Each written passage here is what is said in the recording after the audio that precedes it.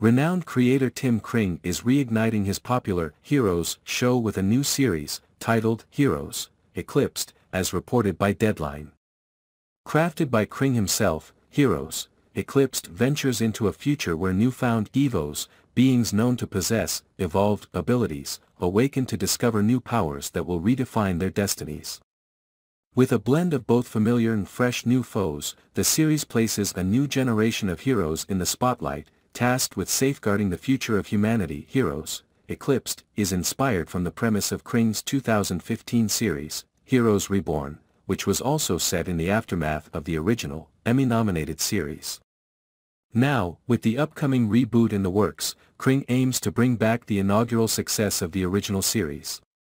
Executive produced by Kring and his manager Jordan Cerf of Mosaic, Heroes, Eclipsed marks a collaborative effort between Universal Television and Universal Studio Group. Discussions are currently taking place around potential network homes, including NBC and streaming platforms.